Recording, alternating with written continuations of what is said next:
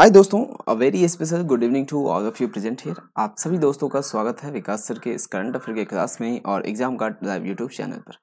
दोस्तों, आज हम बात करेंगे 23 और 24 दिसंबर, जनवरी 2023 के जितने भी महत्वपूर्ण करंट अफेयर हैं, उसको डिस्कस करेंगे, जो कि आपके आने वाले सभी एग्ज़ाम के लिए बहुत ही इंपॉर्टेंट चाहे आप किसी भी एग्ज़ाम की तैयारी कर रहे हो, चाहे एसएससी की कर रहे हो, चाहे बैंक की कर रहे हो रेलवे स्टेट एग्ज़ाम या फिर डिफेंस की करो, किसी भी एग्ज़ाम की तैयारी कर रहे हो तो आपके लिए बहुत ही इंपॉर्टेंट है करंट अफेयर अगर आप रेगुलर बेसिस पे डेली बेसिस पे करंट अफेयर को करते हैं तो एग्ज़ाम में आपको ये डेफिनेटली दूसरे बच्चों से बहुत आगे लेके जाएगा। कुछ स्टूडेंट ऐसे होते हैं जो एग्ज़ाम जब नोटिफिकेशन आता है, तब उसके बाद भी जब एडमिट कार्ड वगैरह आ जाता है, तब तब पढ़ना चाहते हैं स्टार्ट करते हैं और फिर सोचते हैं कि उस बीच में वो छः आठ महीने का करंट अफेयर कर दे, जो कि पॉसिबल नहीं है किसी भी हालत में, क्योंकि डेली के कम से कम पंद्रह से सोलह क्वेश्चन चौदह से चौदह पंद्रह क्वेश्चन ऐसे होते हैं इंपॉर्टेंट करंट अफेयर के जो करना होता है।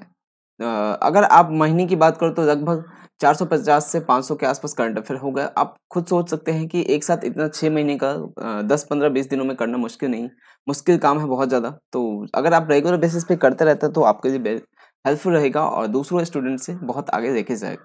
तो आप सभी दोस्तों से रिक्वेस्ट है डेली क्लास में आया करें। चाहे आप लाइव में ना आए, जब भी आपको टाइम मिले देखें।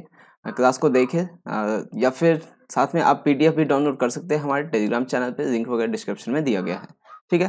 तो आज तेईस और चौबीस जनवरी के जितने भी महत्वपूर्ण करंट अफेयर है, उसको हम डिस्कस करेंगे। ठीक है? उससे पहले, वीडियो स्टार्ट करने से पहले आपको बता दें दोस्तों, एग्ज़ाम कार्ड की तरफ़ से आपके लिए लेके आया गया है। रैपिड सीरीज़ नाम का छह बुक लॉन्च किया गया, जिसमें छह बुक का कॉम्बो होता है। अर्थव्यवस्था राज व्यवस्था विज्ञान एंड प्रौद्योगिकी इतिहास साइंस एंड भूगोल एंड पर्यावरण। यानी छः सभी सब्जेक्ट जीके जीएस के जितने भी इम्पोर्टेंट टॉपिक है सब्जेक्ट है सभी को इसमें कवर किया गया है। इस बुक की हेल्प से आप आ, बहुत कम टाइम में एक से दो महीने के अंदर अंदर आप बहुत अच्छी तैयारी कर सकते हैं। तो अगर आप बाई करना चाहते हैं ज़रूरी नहीं है कि आप सारे छः बुक्स एक साथ खरीदें। आपके ऊपर है आपके नीड के ऊपर है कि आप कितना बुक्स बाई करना चाहिए? एक कर सकते हैं, दो, चार, जो मर्ज़ी आप बाई कर सकते हैं, ठीक है? अगर आप बाई करना चाहते हैं तो हमारे वेबसाइट वगैरह लिंक डिस्क्रिप्शन में दिया गया है एग्ज़ाम का डॉट इन और विकास टेन का कोड यूज़ करने से आपको टेन परसेंट का डिस्काउंट मिल जाएगा। अभी फोर्टी फाइव परसेंट का डिस्काउंट बुक पे मिल रहा है, दस परसेंट का और मिल जाएगा। टोटल आपको फिफ्टी फाइव परसेंट का डिस्काउंट मिल रहा है ओनली फोर्टी फाइव परसेंट ही पे करना है। तो आप चाहे तो बाई कर सकते हैं लिंक वगैरह डिस्क्रिप्शन में दिया गया है, ठीक है? तो चलिए आज के सेशन जो है उसको हम स्टार्ट करते हैं। आज का पहला प्रश्न है दोस्तों। हाल ही में आठवें भारतीय अंतर्राष्ट्रीय विज्ञान महोत्सव आईआईएसएफ विज्ञानिका का आयोजन कहाँ किया गया है? यानी कि किस शहर में किया गया है? ऑप्शन ए है जयपुर में किया गया है, भोपाल में किया गया है, पटना में किया गया है या फिर मुंबई में किया गया है। तो आठवें जो भारतीय अंतर्राष्ट्रीय विज्ञान महोत्सव है, इंडिया इंटरनेशनल साइंस फेस्टिवल, इसका इंग्लिश में फुल फॉर्म होगा, इंडिया इंटरनेशनल साइंस फेस्टिवल। ये रहा नीचे में दिया हुआ है। तो इसका जो आयोजन किया गया है, इसका कहाँ पे किया गया? भोपाल में किया गया है। ऑप्शन बी इसका राइट आंसर हो जाएगा। भोपाल कहाँ है? मध्य प्रदेश में है।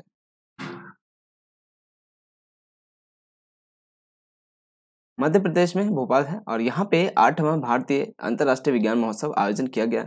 याद रखना दोस्तों, इसका जो एडिशन है एट्थ नंबर का तो वो भी इम्पोर्टेंट है। 2000 में आपसे क्वेश्चन बनाकर पूछ सकता है कि बताइए 2023 में भारतीय अंतर्राष्ट्रीय विज्ञान महोत्सव का कौन सा संस्करण भोपाल में आयोजित किया गया? तो याद रखना कौन सा संस्करण है? आठवां संस्करण है, ठीक है? क्योंकि संस्करण भी आज के टाइम में जो क्वेश्चन है ना, घुमा के पूछता है। ये नहीं कि सीधा सीधा देगा आपको। क्वेश्चन को घुमा घुमा के पूछता है। डायरेक्टली नहीं पूछता है। तो आपको पता होना चाहिए, ठीक है? तो आइए देखते हैं नेक्स्ट इसका जो एक्सप्लेनेशन है, कुछ फैक्ट से देख लेते हैं। भोपाल में आयोजन किया गया है। कब किया गया? बाईस तेईस जनवरी दो हज़ार तेईस को। आठवें भारतीय अंतर्राष्ट्रीय विज्ञान महोत्सव I I S F Bhopal में विज्ञानिका का आयोजन किया गया है। विज्ञानिका का आयोजन विज्ञान का काव्य, बहुभाषा, वैज्ञानिक साहित्य, विज्ञान नाटक एवं लोक कला के माध्यम से विज्ञान को बढ़ावा देना है। मतलब इन सारे तरीकों से विज्ञान काव्य के थ्रू या कह सकते हैं विज्ञान काव्य के द्वारा, बहुभाषा के द्वारा, वैज्ञानिक साहित्य के द्वारा, विज्ञान नाटक एवं लोक कला, इन तरीकों से विज्ञान का जो है, विज्ञान को बढ़ावा देने के उद्देश्य से इसका आयोजन किया गया था। विज्ञानिका कार्यक्रम में लगभग 300 पेशेवर ने पार्टिसिपेट किया था, साथ में नागरिक भी उसमें पार्टिसिपेट किए थे। मध्य प्रदेश के जो मुख्यमंत्री हैं, शिवराज सिंह चौहान हैं और मंगू भाई पटेल यहाँ के राज्यपाल ठीक? नेक्स्ट क्वेश्चन है दूसरे नंबर का। हाल ही में किस राज्य में राष्ट्रीय एड्स नियंत्रण संगठन ने मानव की सबसे बड़ी लाल रिबन की श्रृंखला बनाई है? एड्स का जो सिंबल कह सकते हैं, कुछ इस तरह से है या इस तरह से? तो इसका जो सब मानव का की जो सबसे बड़ी मानव के द्वारा बनाया गया जो रिबन है, श्रृंखला है इसका जो सिंबल है क्या है? रेड रिबन है।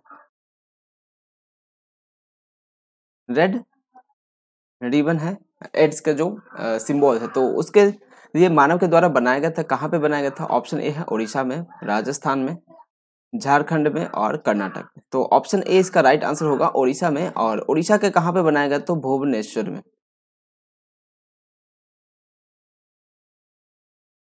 भुवनेश्वर में बनाया गया था और भुवनेश्वर जो है उड़ीसा की कैपिटल भी है। और भुवनेश्वर अगर उड़ीसा की बात करें दोस्तों तो उड़ीसा के कहाँ पे किया गया था? कलिंगा यूनि में।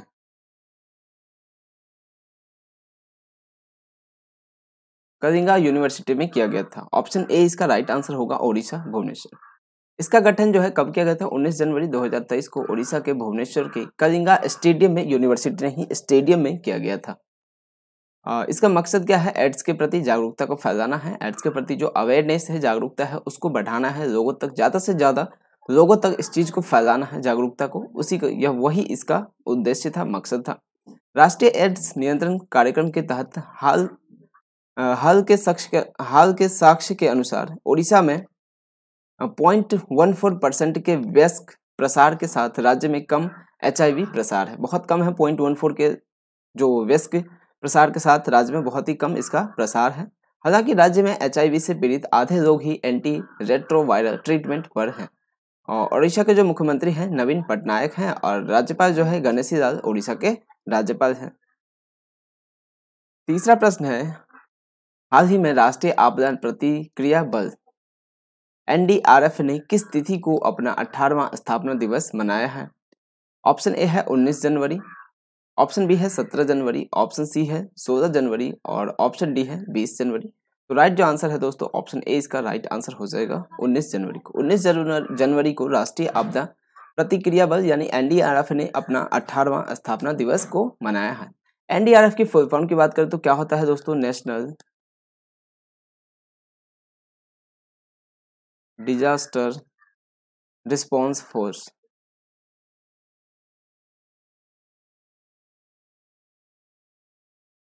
इसका फुल फॉर्म होता है एनडीआरएफ का। स्थापना प्रत्येक एनडीआरएफ का स्थापना दिवस प्रत्येक वर्ष 19 जनवरी को मनाया जाता है। इसका गठन आपदा प्रबंधन अधिनियम 2005 के तहत वर्ष 2006 में किया गया था। देखो, ये दोनों में कंफ्यूजन है 2005 और 2006 में, इस चीज़ को समझिए।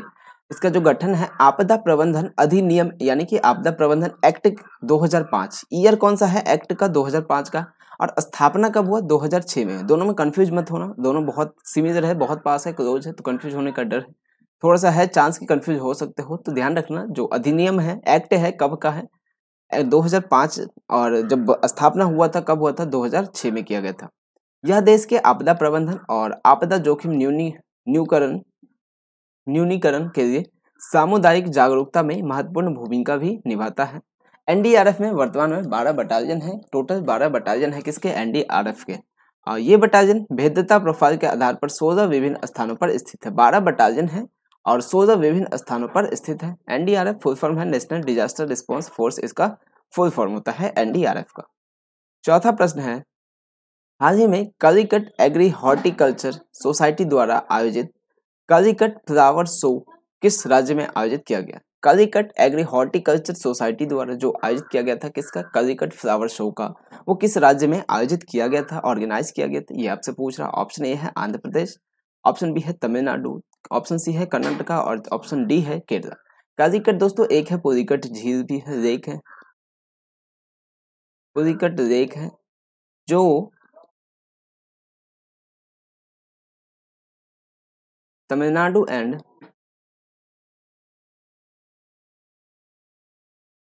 आंध्र प्रदेश को कनेक्ट करती है। ठीक है? ये पोलिकट लेक है और ये कौन सा है? Calicut flower show Calicut flower show किसके द्वारा? कालीकट एग्री हॉर्टिकल्चर सोसाइटी द्वारा कंडक्ट किया गया था ऑर्गेनाइज किया गया था। तो किस स्टेट में किया गया था? ऑप्शन डी इसका राइट आंसर है केरला। ऑप्शन डी केरला में दोस्तों कालीकट फ्लावर शो का आयोजन किया गया था। फ्लावर वैली का किसे कहा जाता है? ठीक है, ये क्वेश्चन कई बार पूछा गया है एसएससी के एग्ज़ाम में फ्लावर वैली किसे कहा जाता है? तो उत्तराखंड को कहा जाता है। कैलिकट फ्लावर वैली जो है, फूलों की घाटी किसे कहा जाता है? उत्तराखंड को कहा जाता है। कैलिकट एग्री हॉर्टिकल्चर सोसाइटी द्वारा आयोजित कैलिकट फ्लावर शो 20 से 29 जनवरी तक मरीन ग्राउंड कैलिकट केरल में आयोजित किया जाएगा। 20 से 29 जनवरी तक मरीन ग्राउंड कैलिकट केरला में आयोजित किया जाएगा। केरल के वन और वाणिज्य वन्य जीव मंत्री ए के सशिंद्रन पुष्प प्रदर्शनी का उद्घाटन करेंगे। यह उत्सव विभिन्न विदेशी फूलों और पत्तेदार पौधों, सब्जियों और फलों की प्रजातियों का प्रदर्शन करेगा। इसमें बहुत सारी विदेशी फूलों को शो किया जाएगा। दिखाया जाएगा, पत्तेदार पौधों को दिखाया जाएगा, सब्जियों को दिखाया जाएगा और फलों की प्रजातियों, इन सभी चीज़ों के जो प्रजाति है डिफरेंट टाइप्स होते हैं, उसको बताया जाएगा, इसमें दिखाया जाएगा। केरल के मुख्यमंत्री की बात करें, पिनराई विजयन है और राज्यपाल जो है, आरिफ मोहम्मद खान, केरल के राज्यपाल है। पांचवा प्रश्न क्या है? हाल ही में किस देश के नेत्र विशेषज्ञ डॉक्टर सैंडुक रुईत 2021-22 का बहरीन का आईएसए पुरस्कार जीता है? किस देश के जो नेत्र विशेषज्ञ हैं, जिनका नाम क्या है? डॉक्टर सैंडुक रुईत उन्होंने 2021-22 का बहरीन का आईएसए पुरस्कार जीता है या उनको दिया गया है? ऑप्शन ए है फ्रांस, ऑप्शन बी है जापान, ऑप्शन सी है नेपाल और ऑप्शन डी है चाइना। तो राइट जो आंसर है दोस्तों, डॉक्टर सैडुक रोहित जो है, कहाँ के हैं? नेपाल के हैं, ऑप्शन सी। और नेपाल, इसका करेक्ट आंसर होगा नेपाल। नेपाल के जो है डॉक्टर सैडुक रोहित इन्होंने बहरीन 2021-22 का आईएसए पुरस्कार जीता है। हिमालयन मोतियाबिंद परियोजना के सह संस्थापक और प्रख्यात नेपाली नेत्र रोग विशेषज्ञ डॉक्टर सैंडुक रुइट नाम याद रखना, कंट्री याद रखना दोनों बहुत ही इंपॉर्टेंट है। नेम एंड कंट्री, दोनों ही बहुत इंपॉर्टेंट है। तो सैंडक डुइट ने जनवरी 2023 में मानवता की सेवा के लिए आईएसए पुरस्कार 2021-22 जीता है। कई लोगों की आँखों की रोशनी बचाने के लिए उन्हें प्यार से गॉड ऑफ़ साइट कहा कहा जाता है। तो बहुत इंपॉर्टेंट क्वेश्चन बनता है कि गॉड ऑफ़ साइट किसे कहा जाता है? करंट अफेयर से रिलेटेड है, ये स्टैटिक में भी कवर हो जाएगा। तो पूछा जा सकता है कि गॉड ऑफ़ साइट किसे कहा जाता है? तो डॉक्टर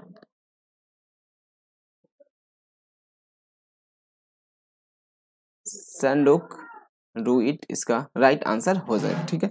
तो याद रखना गॉड ऑफ़ साइट जो है, किसे कहा जाता है? डॉक्टर सैंडोक रूइट का। और ये कहाँ से हैं? तो नेपाल से रहे हैं। इनको कौन सा अवार्ड मिला है? तो बहरीन का। आई एस ए अवार्ड मिला है 2021-22 का मिला है। किस लिए? लोगों के मानवता की सेवा के लिए इनको दिया गया है, ठीक?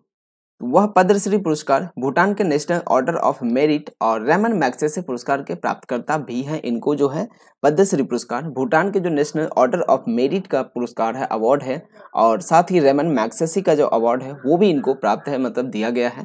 तो 2019 में उन्हें एशियन और गेम चेंजर अवार्ड से सम्मानित किया गया। दो हज़ार में एशियन गेम चेंजर अवार्ड से भी सम्मानित किया गया। आजकल ये भी क्वेश्चन पूछता है, इनसे अगर कोई चीज़ होती है रिलेटेड उससे कुछ रिलेटेड अगर पास्ट में कुछ हुआ हुआ होगा तो वो भी आजकल पूछ देता है एग्ज़ाम में। तो ये जो क्वेश्चन है 2016 में उन्हें एशियन गेम चेंजर अवार्ड दिया गया था।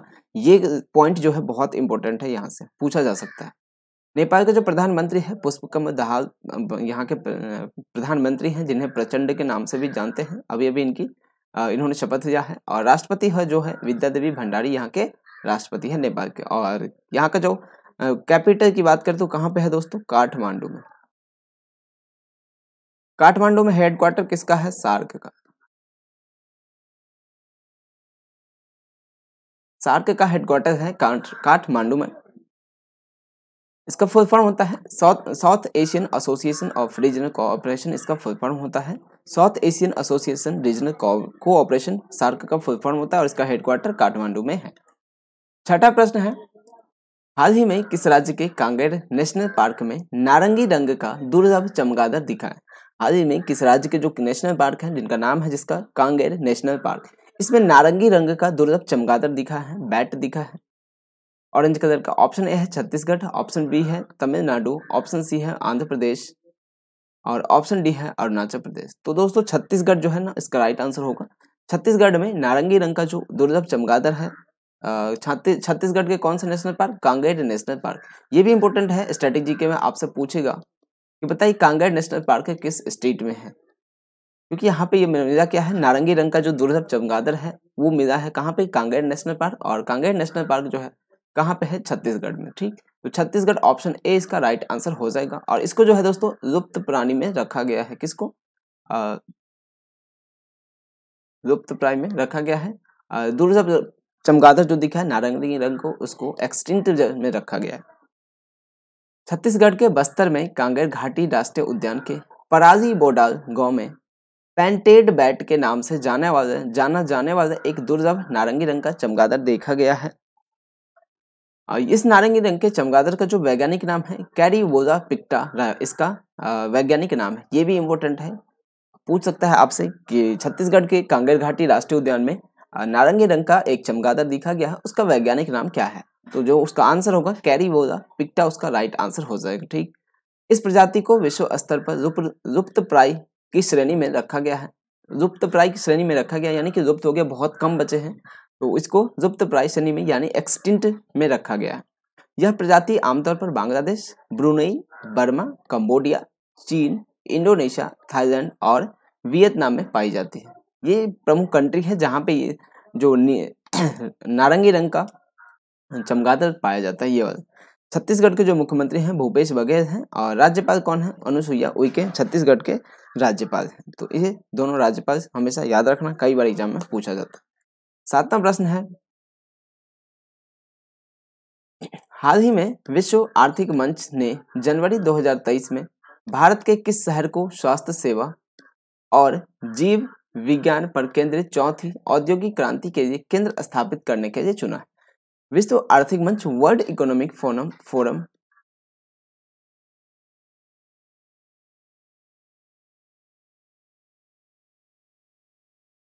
World economic forum W F ठीक तो हेडक्वार्टर कहाँ पे इसका? स्विट्जरलैंड।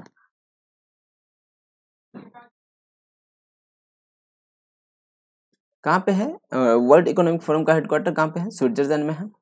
तो वर्ल्ड इकोनॉमिक फोरम ने जनवरी 2023 में दोस्तों भारत के किस शहर को स्वास्थ्य सेवा, ध्यान से सुनना, स्वास्थ्य सेवा और जीव विज्ञान पर केंद्रित चौथी औद्योगिक क्रांति के लिए केंद्र स्थापित करने के लिए चुना है? ये जो एडिशन होगा, कौन सा होगा? चौथी होगा, लेकिन भारत में ये फ़र्स्ट है। भारत में ये फ़र्स्ट है, लेकिन वर्ल्ड लेवल पे अगर बात करें तो ये फोर्थ है। दोनों में को याद रखना। किस शहर में क्यों किया गया है, चुना है, जहाँ पे स्थापित किया जाएगा? ऑप्शन ए है जयपुर ऑप्शन बी है हैदराबाद। ऑप्शन सी है Patna and option D Mumbai. तो राइट जो आंसर होगा इसका ऑप्शन बी इसका राइट आंसर हो जाएगा। चार्जर देखे ना। ऑप्शन बी इसका राइट आंसर हो जाएगा हैदराबाद। हैदराबाद में दोस्तों वर्ल्ड जल्दी। वर्ल्ड इकोनॉमिक फोरम ने जनवरी 2023 में भारत के आ, किस शहर यानी हैदराबाद में स्वास्थ्य सेवा और जीव विज्ञान पर केंद्रित चौथी औद्योगिक क्रांति के लिए केंद्र स्थापित करने के लिए चुना है किस शहर को? हैदराबाद को। हैदराबाद तेलंगाना में की कैपिटल है। विश्व आर्थिक मंच, वर्ल्ड इकोनॉमिक फोरम ने जनवरी 2023 में हैदराबाद को स्वास्थ्य सेवा और जीव विज्ञान पर केंद्रित चौथी औद्योगिक क्रांति के लिए केंद्र स्थापित करने के लिए चुना है। किसको? हैदराबाद को। चौथा औद्योगिक क्रांति केंद्र सी फोर आई आर एक स्वायत्त संगठन होगा जो स्वास्थ्य देखभाल और जीव, जीवन विज्ञान पर केंद्रित हो किस पे होगा ये? स्वास्थ्य संगठन स्वास्थ्य के देखभाल पर में और जीवन विज्ञान पर केंद्रित होगा। C four I R Telangana forum के चौथे औद्योगिक क्रांति नेटवर्क में शामिल होने वाला अठारवा केंद्र होगा।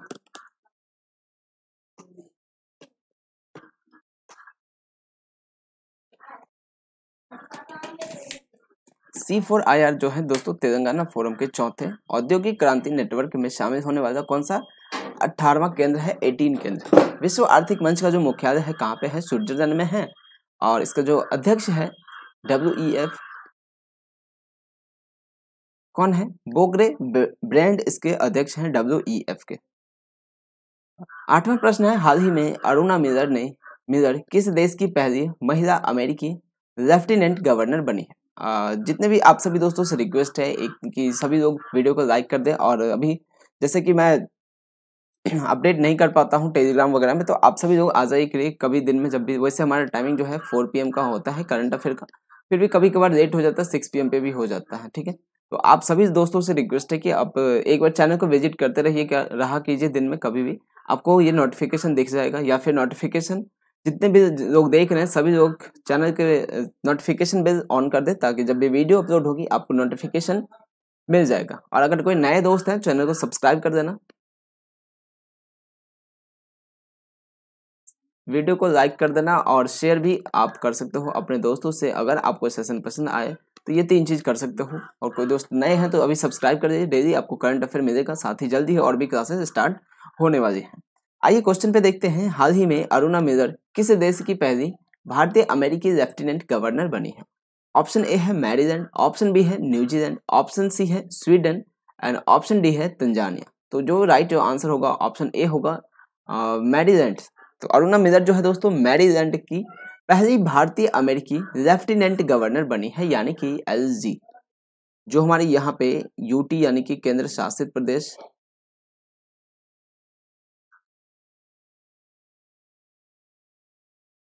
केंद्र शासित प्रदेश में होते हैं ना governor, L G lieutenant governor. वैसे तो हमारे जो स्टेट हैं, उसको तो आप पता होगा क्या होता है? राज्यपाल होता है, गवर्नर होता है।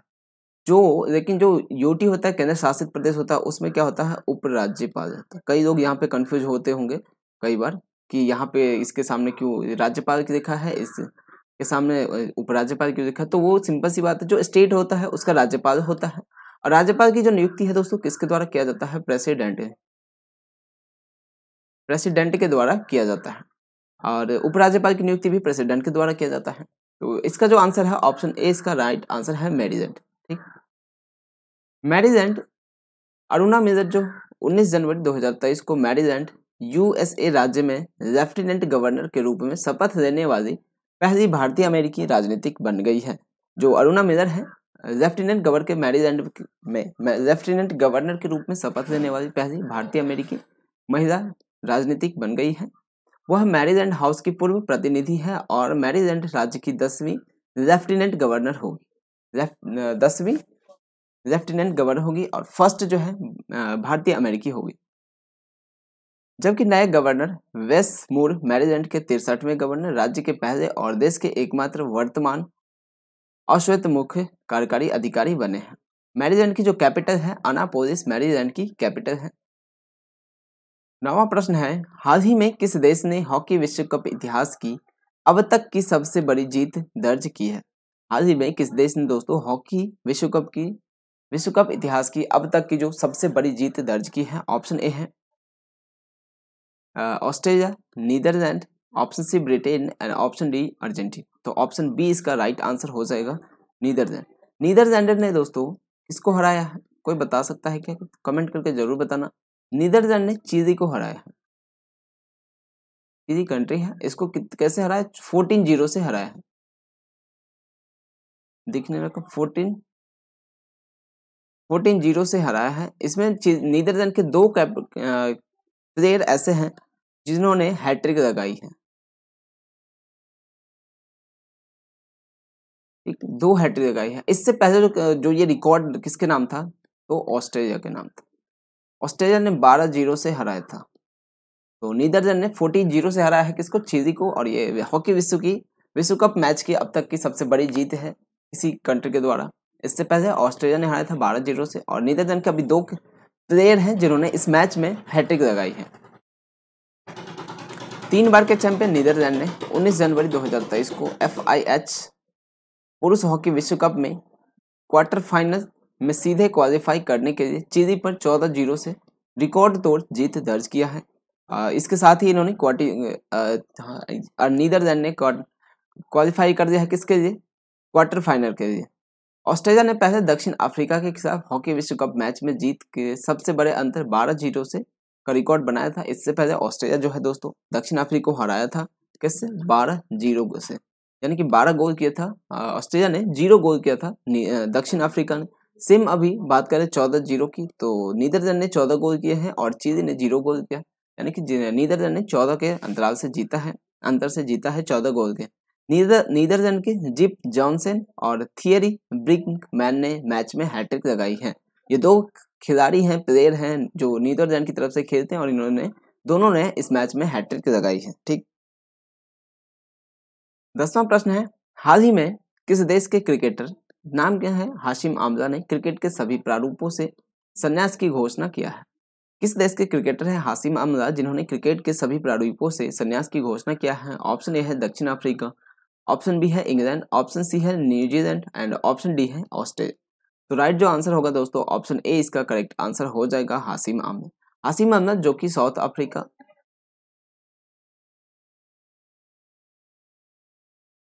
साउथ अफ्रीका के बहुत बड़े प्लेयर हैं। इन्होंने लगभग कह सकते हैं कि आ, टेस्ट मैच वगैरह में 9000 से करीब 9000 प्लस रन बनाए हैं। और टोटल अगर देखें तो 18000 प्लस रन बनाए हैं इन्होंने। जो कि सेकंड बल्लेबाज हैं साउथ अफ्रीका की तरफ़ से जिन्होंने इतना ज़्यादा स्कोर किया हुआ है। इससे पहले जैक कैलिस है।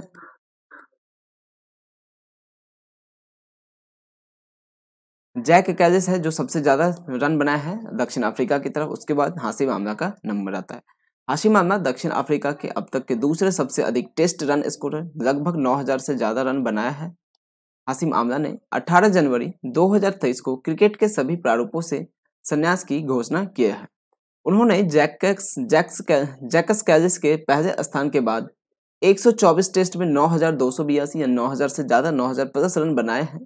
साथ ही 27 एक दिवसीय शतक लगाए 27 ओडीआई सेंचुरी लगाए हैं और दक्षिण अफ्रीका के लिए सभी प्रारूपों में कुल अठारह रन बनाए हैं। वह टेस्ट क्रिकेट में तिहरा शतक बनाने वाला पहले और एकमात्र दक्षिण अफ्रीकी खिलाड़ी टेस्ट क्रिकेट में तेरह शतक लगाने वाला। पहला बल्लेबाज है कौन? हासिम आमला। और दक्षिण अफ्रीका के लिए भी एकमात्र खिलाड़ी है जिन्होंने टेस्ट क्रिकेट में तिहरा शतक लगाए हैं। तो नाम होगा उनका दक्षिण Hashim Amla. Option? Next question है, ग्यारह नंबर का। हाल ही में दिल्ली विधानसभा ने दिल्ली जल बोर्ड के लिए कितने करोड़ रुपए के पूरक अनुदान की को मंजूरी दिया है, जिससे कि यमुना नदी को यमुना नदी की सफ़ाई के लिए।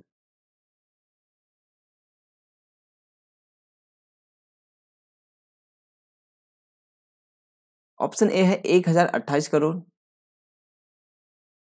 नौ सौ करोड़, बारह सौ करोड़ या फिर ग्यारह सौ करोड़। तो दिल्ली जल बोर्ड ने जो है दोस्तों यमुना नदी की सफ़ाई के लिए कितने करोड़ दिया है?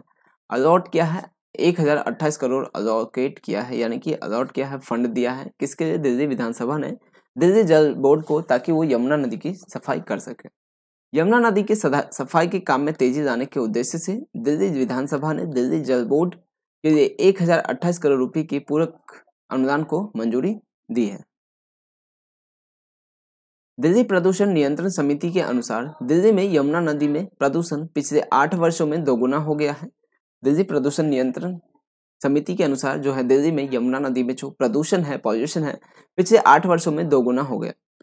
दिल्ली में प्रवेश करने पर यमुना की जैविक ऑक्सीजन मांग टू होता है और दिल्ली से निकलने पर यह छप्पन हो जाती है।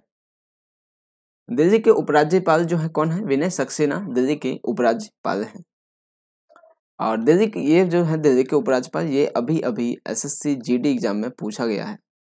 जो मेरी क्लास को रेगुलर फॉलो करते डेफिनेटली उन्होंने किया होगा अगर उनके शिफ्ट में आया होगा तो।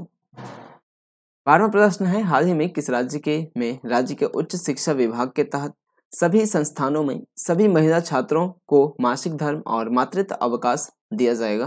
तो किस राज्य ने यह फैसला लिया है कि जितने भी इंस्टीट्यूट हैं उसमें सभी लेडीज़ यानी गर्ल्स को आ, मासिक धर्म और मातृत्व अवकाश दिया जाएगा? तो ऑप्शन ए है Karnataka.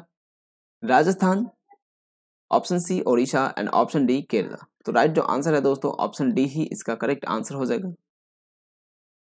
केरला ने दोस्तों राज्य के उच्च शिक्षा विभाग के तहत सभी संस्थानों में सभी महिला छात्रों को मासिक धर्म और मातृत्व अवकाश दिए जाने की घोषणा किया है।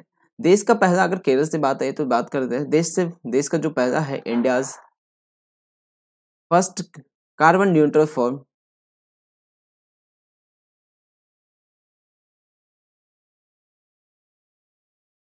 seed farm. कहाँ पे घोषणा मिला मतलब किस स्टेट ने घोषणा किया था? केरला नहीं किया था। देश का पहला कार्बन न्यूट्रल फर्म जो है seed seed carbon neutral seed firm जो है, कहाँ पे घोषणा किया था? केरला में किया गया था। केरल सरकार ने सभी राज्य विधानसभा राज्य विद्या, विश्वविद्यालयों में मासिक धर्म की छुट्टी की अनुमति दी है। केरल ने घोषणा की कि राज्य के उच्च शिक्षा विभाग के तहत सभी संस्थानों में सभी महिला छात्रों को मासिक धर्म और मातृत्व अवकाश दिए जाने की घोषणा किया। इस देश, इसे देश में इस तरह की पहली पहल बताया जा रहा है। ये फ़र्स्ट स्टेट है जो इस चीज़ को, इस इनिशिएट को लॉन्च किया है। 18 वर्ष की आयु पूरी कर चुकी छात्रा को अधिकतम 60 दिन का मातृत्व अवकाश स्वीकृत किया जाएगा। जो भी 18 वर्ष से पूरी कर चुकी हैं, उनको मातृत्व अवकाश मैक्सिमम 60 डेज़ का दिया जाएगा। इससे पहले कोचिन यूनिवर्सिटी ने इस तरफ़ की छुट्टी दिए देना स्टार्ट किया था। केरल के जो मुख्यमंत्री हैं पिंडाई विजयन हैं और राज्यपाल कौन है? आरिफ मोहम्मद खान, इसके राज्यपाल हैं केरल के। थर्टीन नंबर प्रश्न है, हाल ही में किस आईआईटी ने भारत का स्वदेशी mobile operating system Bhar OS को विकसित किया है? कौन से आईआईटी हैं जिसने भारत का जो पहला स्वदेशी मोबाइल है, ऑपरेटिंग सिस्टम ऑपरेटिंग सिस्टम जैसे आपने पढ़ा होगा, विंडोज़, लिनक्स, ठीक है? और जैसे एप्पल वगैरह के आईओएस होता है, मोबाइल के लिए एंड्रॉयड होता है। तो ये जो भार ओ एस हो, ये मोबाइल के लिए है।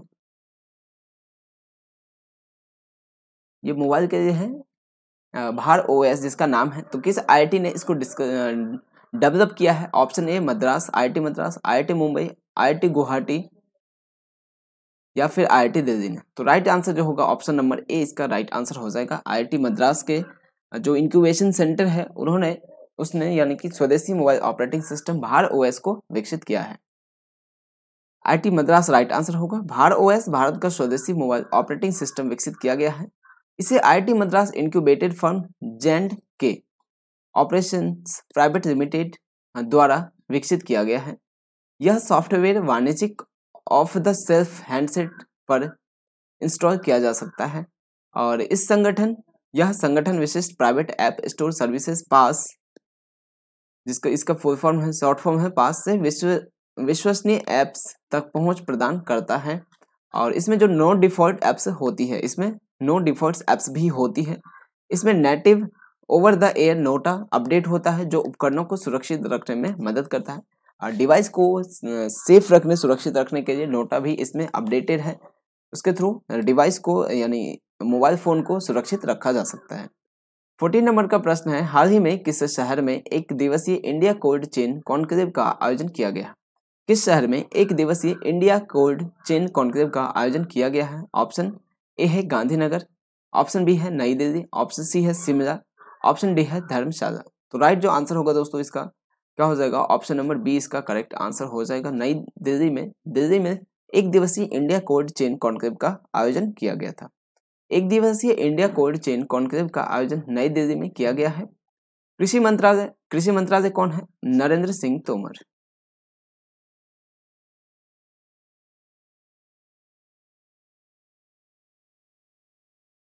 नरेंद्र सिंह तोमर कृषि मंत्रालय है तो कृषि मंत्रालय ने PHD, chamber of commerce and industry और national centre for cold chain development के सहयोग से नई दिल्ली में 19 जनवरी 2023 को कॉन्क्लेव का आयोजन किया था। कॉन्क्लेव का उद्देश्य सभी हितधारकों को एक साझा मंच, एक साथ लाना था। और इस दौरान बागवानी क्लस्टर विकास कार्यक्रम के तहत उत्पाद विशिष्ट बागवानी क्लस्टरों को स्वीकृति प्रदान की गई थी। तो कहाँ पे किया गया था? आयोजन नई दिल्ली में आयोजन किया गया था। चौदह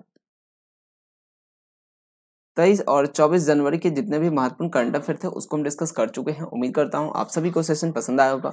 अगर अच्छा लगा हो तो वीडियो को लाइक सभी दोस्त ज़रूर करेंगे और अपने दोस्तों से शेयर भी कर सकते हैं। और अगर कोई चैनल पर नए हो तो सब्सक्राइब कर दीजिएगा। वीडियो की नोटिफिकेशन आपको मिलती नहीं साथ ही बता दें एग्ज़ाम कार्ड का जो आपके करंट अफेयर मैगजीन भी आती है तो इस जनवरी मंथ का आप ले सकते हैं। उन दोस्तों के लिए है, जिनको पीडीएफ वगैरह से पढ़ना पसंद नहीं है। तो पीडीएफ सॉरी जिनको वीडियो वीडियो वगैरह से रीड नहीं होता या पीडीएफ से रीड नहीं होता तो वो हमारे इस बुक के थ्रू रिवीजन कर सकते हैं। इसमें टॉपिक वाइज वगैरह दिया गया है डेट वाइज दिया गया है, सब कुछ दिया गया है एकदम। पहले तो डेट वाइज दिया गया, साथ ही टॉपिक वाइज फिर एमसीक्यूज उसके साथ में वन लर्नर्स के फॉर्म में भी दिया गया। तो बहुत ही बेहतरीन बुक है, ये प्राइस ज़्यादा नहीं है ओनली फोर्टी रुपीज़ है फोर्टी नाइन रुपीज़ है लिंक वगैरह जो है डिस्क्रिप्शन में दिया गया है, वहाँ से आप डाउनलोड कर सकते हैं।